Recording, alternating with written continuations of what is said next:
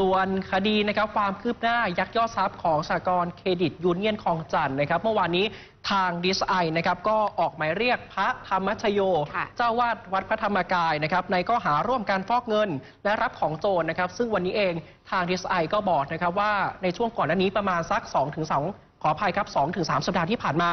คือมีคนเข้ามาร้องเรียนนะครับ กรณีที่พระธรรมชโย รับเช็คไม่มีมูลหนี้นะครับก็เลยทำให้มีการออกหมายเรียกดังกล่าว โดยพันตำรวจโทประกรณ์สุชีวกุล ผู้บัญชาการสำนักคดีการเงินการธนาคาร กรมสอบสวนคดีพิเศษ หรือ DSI เปิดเผยเมื่อวานนี้นะครับมีการออกหมายเรียกพระเทพยานมหามุนี หรือพระธรรมชโย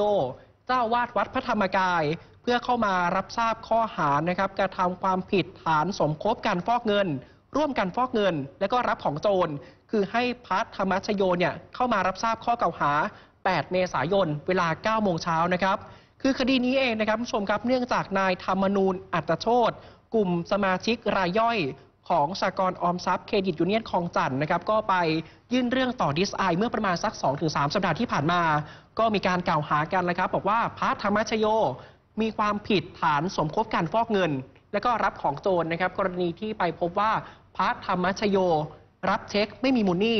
โดยทางดิสไอนะครับก็รับเรื่องนี้ไว้นะครับแล้วก็ไปเก็บรวบรวมหลักฐาน จนสามารถออกหมายเรียกให้มารับทราบข้อกล่าวหาตามขั้นตอนของกฎหมายครับ นอกจากนี้นะคะพันตำรวจโทประกรณ์ยังบอกว่า ในคดีนี้ชั้นสอบพยาน พระธรรมชโยก็ได้มอบหมายให้พระรูปอื่นมาให้ปากคำแทนค่ะ แต่พอมีคุณธรรมนูญไป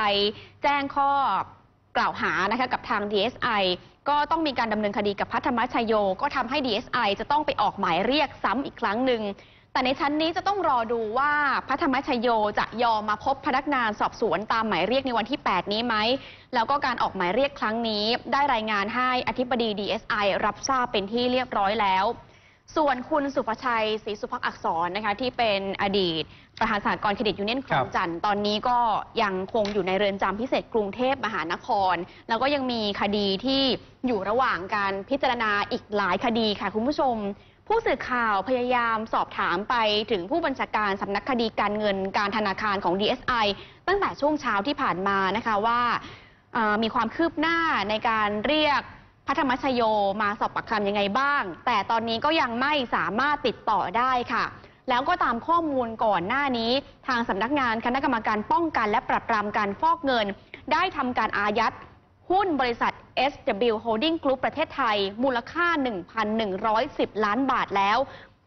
ซึ่งมีการไปตรวจสอบพบครับว่าหุ้นจำนวนนี้นายสุภชัยที่เป็นอดีตประธานสากลเครดิตยูเนียนคลองจันทน์นะคะ